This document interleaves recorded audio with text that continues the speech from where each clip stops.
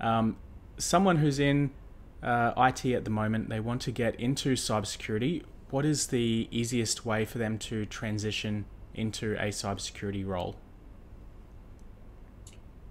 Yeah, we see people coming into cybersecurity from uh, different paths for sure. Uh, it's a very fast growing uh, industry right now. Uh, it pays well. Uh, and so there's a lot of interest for folks to come in. For sure. Um, yeah.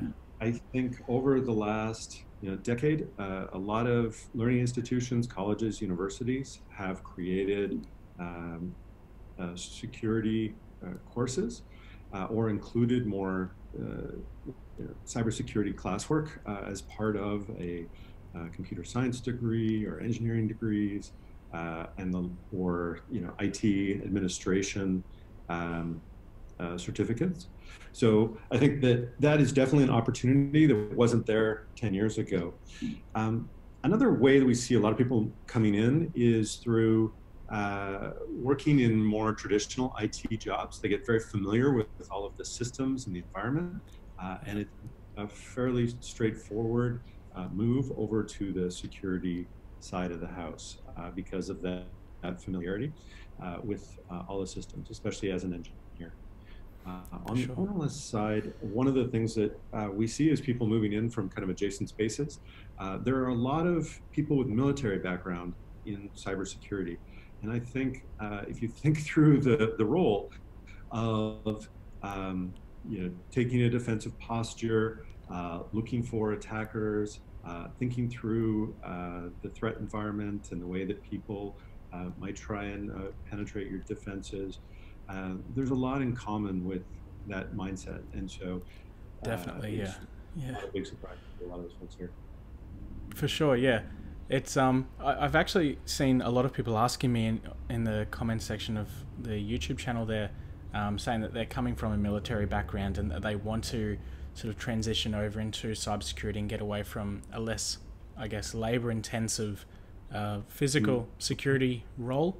Yep. And um, yeah, certainly some of those clearances that they currently have definitely help them out getting a job in cybersecurity, especially within government if they need any sort of clearance um, there. You can sort of transition sometimes, but depending on where you're going, I guess is what the requirements are. Um, so yeah, it's it's an interesting one for I guess defense personnel, like you were saying.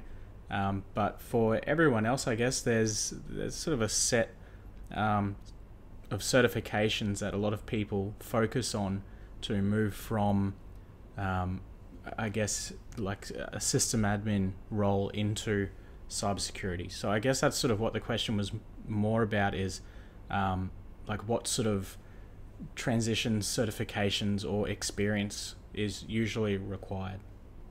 Yeah, so as you point out, there's a number of different certifications out there. Uh, I think you know one of the more common ones is a CISSP uh, certification. Um, there's a number of different bodies out there. Uh, SANS, S-A-N-S, is one organization that definitely provides a lot of training uh, to the industry, both for people looking to break into it and people that are already uh, in the industry. And um, uh, I think that uh, folks will also find if they search for cybersecurity training that there's a number of other kind of established organizations out there that do provide a lot of that training for folks to learn more about um, the different processes and tools that are used in cybersecurity. Yeah, I, I, saw in that report, um, in your guys' report, that the CISSP was uh, at 34% of people who said they had a, a certification outside of their degree. Um, that was the most common one to go for. So it's it's certainly way up there, closely followed by um, some of the CompTIA ones and a CEH, which I would believe from the name anyway that it's uh, focus more on ethical hacking rather than a defensive posture. But um, yeah, still a, a, great certification to have, I guess. So yeah, CISSP is apparently the one to go for.